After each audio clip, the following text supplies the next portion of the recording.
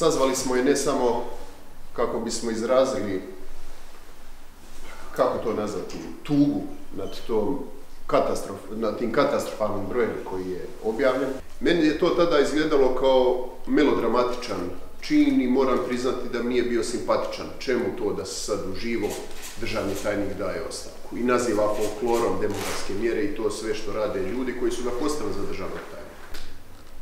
Upitajte ga za ove stvari.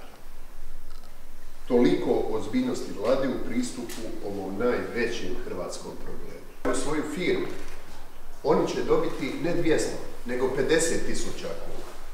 A dodatnih 150 tisuća kuna, dakle do tog ukupnog broja 200 tisuća kuna, dobit će vrlo uska skupina ljudi, pravnica, uspješna poslovna žena, uz put i majka četvero djece.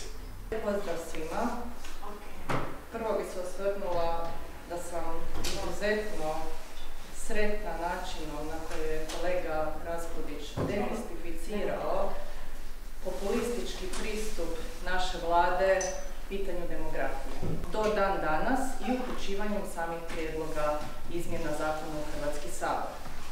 Tri aspekta s kojih smo pristupili ovom pitanju su gospodarski aspekt, sigurnosni i nacionalni aspekt i ustavno-pravni aspekt. Kao takav ne može opstati.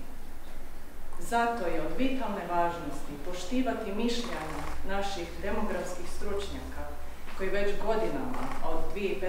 od kada ja to pratim, govore da je izuzetno potrebno jedini način da se riješi demografski problem, da postoji nad ministarski resor u vladi koji bi obuhvatio sve resore i sa svih resora pristupio pitanju demografije.